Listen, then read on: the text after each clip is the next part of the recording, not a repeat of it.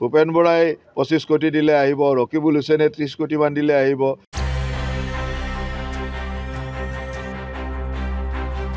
এবাৰ জয়ন্ত মল্ল ভাৰ্চেছ ৰকিবুল হুছেইন। মন্ত্ৰীৰ ধনৰ প্ৰসংগ আহিছে। কাৰ কিমান ক্ষমতা কাৰ কিমান শক্তি তাৰ প্ৰসংগ আহিছে। ৰকিবুল হুছেইনে ত্ৰিছ কোটিমান দিলে আহিব।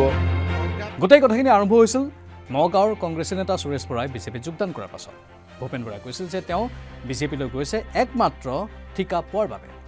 আৰু তাৰ প্ৰত্যুত্তৰ হিচাপে জয়ন্ত বল্লভ বৰুৱাই উল্লেখ কৰিছিল যে সঁচাকৈ তেওঁ যদি ঠিকাৰ বাবে আহিছে বা টকাৰ বাবে আহিছে তেনেহ'লে পঁচিছ কোটি টকাৰ ঠিকা দিয়া হ'ব। ভূপেন বৰাক তেওঁ আহক ত্ৰিছ কোটি টকাৰ ঠিকা দিয়া হ'ব। ৰকিবুল হুছেইনক তেওঁ আহক চল্লিছ কোটি টকাৰ ঠিকা দিয়া হ'ব। গৌৰৱ গগৈক তেওঁ আহক। ভূপেন বৰাই পঁচিছ কোটি দিলে আহিব ৰকিবুল হুছেইনে ত্ৰিছ কোটিমান দিলে আহিব গৌৰৱ গগৈ চল্লিছ কোটিমান দিলে হ'ব জল জীৱন মিছনত মই দিব পাৰোঁ এইখিনি ঠিকা। যদি ঠিকা দিলে এনেকৈ আহে। আৰু সেই কথাটোতে ক'ৰবাত গাত লাগিল ৰকিবুল হুছেইনৰ। লগে লগে তেওঁ সংবাদমেল সম্বোধন কৰিলে আৰু ক'লে যে এটা সময়ত ৰাহুল গান্ধীৰ গা ঘেলাই বিধায়ক হোৱা এইগৰাকী জয়ন্ত মল্ল বৰুৱাই কংগ্ৰেছত থাকোঁতেই ভদ্ৰই আছিল। কিন্তু বিজেপিলৈ যোৱাৰ পাছতহে সেই ভদ্ৰতা নোহোৱা হৈ পৰিল। গা খেলাবৰ কাৰণে তেওঁ জীৱন সাৰ্থক হ'ব বুলি ভাবিছিল। ৰাহুল গান্ধীৰ লগত গা খেলোৱাটোৱেই তেওঁৰ জীৱনৰ সকলোতকৈ গুৰুত্বপূৰ্ণ আৰু মূল্যৱান কথা বুলি ভাবিছিল। আম আদমী চিপাহীৰ সদস্য হৈ তেওঁ কংগ্ৰেছৰ পৰা প্ৰাৰ্থী হৈছিল। কংগ্ৰেছৰ বিধায়ক হৈছিল। কংগ্ৰেছত থাকোঁতে এনেকুৱা ধৰণৰ কথা কোৱা নাছিল। নম্ৰ ভদ্ৰ আছিল। এতিয়া তেওঁৰ চৰ্দাৰ মুঠতে ৰকিবুল হুছেইনে জয়ন্ত মল্লৰ বিৰুদ্ধে বহুখিনি কথাই কৈ গ'ল। তৈলমৰ্দন কৰি এটা সময়ত বিধায়ক হৈছিল হেনো জয়ন্ত মল্ল বৰুৱা। ৰকিবুল হুছেইন পাঁচবাৰৰ বিধায়ক আৰু অসম বিধানসভাৰ কেইবাগৰাকীও জ্যেষ্ঠ বিধায়কৰ মাজত তেওঁ আছে। আৰু সেই পাঁচবাৰৰ বিধায়কগৰাকীক এনেধৰণে ইটিকিং সূচক বক্তব্য প্ৰদান কৰা বিষয়টোত ক'ৰবাত ৰকিবুল হুছেইনৰ গাত কথাবোৰ লাগিছে। সেয়েহে জয়ন্ত মল্ল বৰুৱাক তোলা ধূনা দিলে ৰকিবুল হুছেইনে। গা খেলাবৰ কাৰণে কথা ইমানতে অন্ত নপৰিল পুনৰবাৰ জয়ন্ত মল্ল বৰুৱাই সাংবাদিকক সম্বোধন কৰি ক'লে যে হয় এটা সময়ত আমি কংগ্ৰেছত আছিলোঁ এটা সময়ত আমি ৰাহুল গান্ধীক নেতা বুলি মানিছিলোঁ।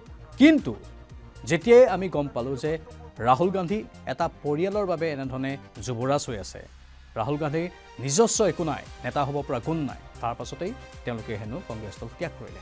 গা খেলাবৰ কাৰণে তেওঁ জীৱন সাৰ্থক হ'ব বুলি ভাবিছিল। ৰাহুল গান্ধীৰ লগত গা খেলোৱাটোৱেই তেওঁৰ জীৱনৰ সকলোতকৈ গুৰুত্বপূৰ্ণ আৰু মূল্যৱান কথা বুলি ভাবিছিল। চাওক ৰাহুল গান্ধীৰ লগততো মোৰ বহুত পুৰণা ফটো আছে। মইতো কোৱা নাই যে মই কংগ্ৰেছ কৰা নাছিলোঁ মই কংগ্ৰেছ কৰিছিলোঁ।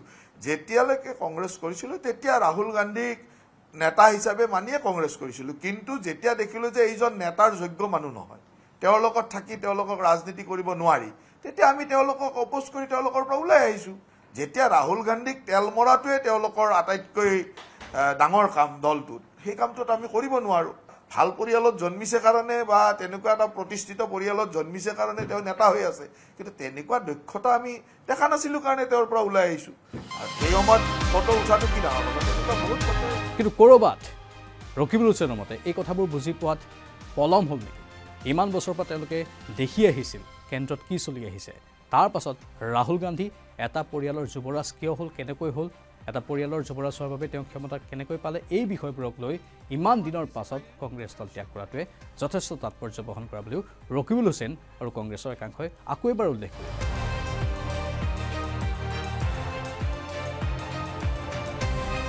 যি কি নহওক নেতাৰ মুখ চুপতি আমি পূৰ্বৰ পৰা দেখি আহিছোঁ বহু নেতাৰ মাজত। আৰু এতিয়া নতুনকৈ এই মুখ চুপতি আৰম্ভ হৈছে ৰকিবুল হুছেইন আৰু জয়ন্ত মল্ল বৰুৱাৰ মাজত।